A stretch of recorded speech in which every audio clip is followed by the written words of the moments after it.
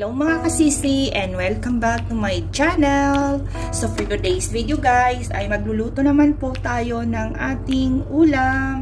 So naglagay po ako ng mantika dahil magkigisa po ako ng sardinas with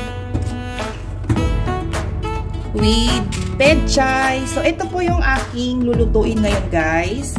So, unang-una guys, mainit na yung ating kaldero. Maglalagay na tayo ng bawang at luya.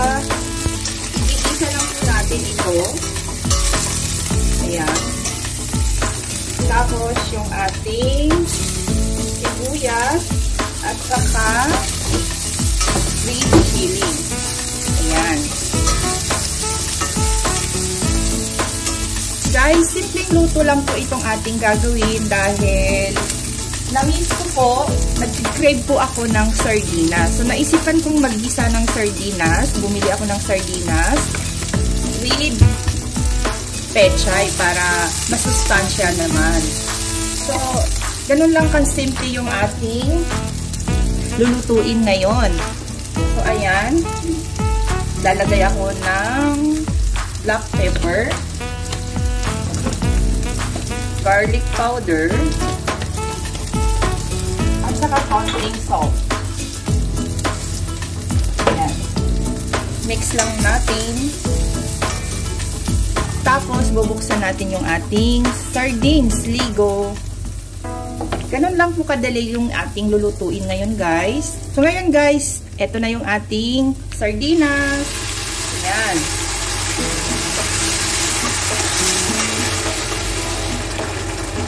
Tapos, dahil nga traditional nating mga Pilipino, lalagyan natin ng tubig ito.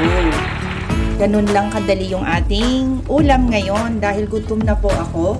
So, ito yung naisip ko na aking lulutuin. At alam niyo naman dito sa ibang bansa, pag ganito yung mga ulam natin, napaka-special na dito sa uh, Middle East. Lalong-lalo na kaming mga OFW. So, ayun guys, nilagyan ko to ng tubig at lalagyan natin ng tubig yung ating sardines. Ayan. Tapos, ilalagay ko na din itong ating pecha, yung matigas na part niya.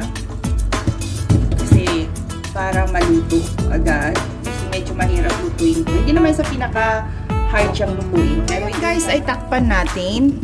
At iluto lang natin ito ng around 2 minutes tapos, babalikan natin. So, after 2 minutes, guys, ayan na siya. Kung nakikita niyo po, may nilagay ako ng okra kasi may natitira po akong okra. Nilagay ko. Tapos, lalagyan ko na din ng green uh, bell pepper. Ayan. Tapos, ilalagay ko na din po yung ating dahon ng pechay.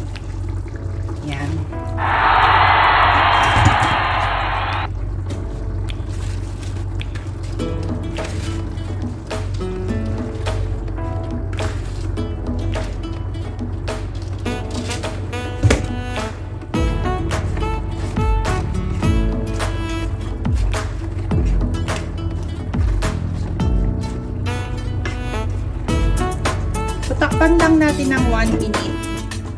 Tapos balikan natin. Kasi madali lang po maluto yung leaves ng pechay. So balikan natin after 1 minute. So after 1 minute, check natin. Ayan. So haluin natin.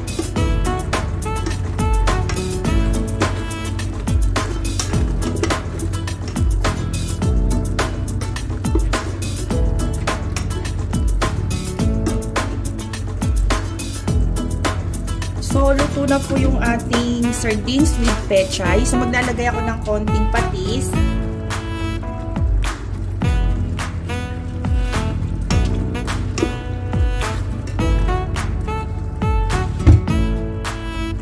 So, guys, luto na yung ating sardines with pechay. So, ready to serve na, guys. So, kain na na. May ulam na po tayo. Salamat and God bless you all. And don't forget to subscribe my YouTube channel and also guys please support my page, pay, uh, FB page. Please like and share. Thank you so much. Bye bye